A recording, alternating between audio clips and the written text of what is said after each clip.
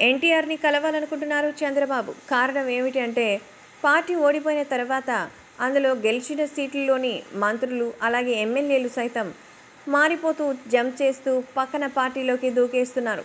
వాళ్ళని కాపాడుకోవడమే కష్టంగా ఉంది. పార్టీ మరి దీన స్థితిలో ఉంది. ఇలాంటి సందర్భంలో తెలుగుదేశం పార్టీని పునర్వైభవం కల్పించి బ్రతికించాలి అంటే ఊపిరి పోసే నాథుడు కేవలం ఎన్టీఆర్ మాత్రమే. ఎన్టీఆర్ వస్తే పరిస్థితులు మారుతాయి. పార్టీ కార్యకర్తల్లో ప్రజాబలంతో కొంచెం కాన్ఫిడెన్స్ అనేది వస్తుంది. కనుక ఖచ్చితంగా అలాంటివి మనం చేయాల్సిందేనని నిర్ణయించుకున్న చంద్రబాబు ఎటకేలకు ఎన్టీఆర్ని కలిసి ఈ విషయం గురించి చర్చించాలని నిర్ణయించుకున్నారు.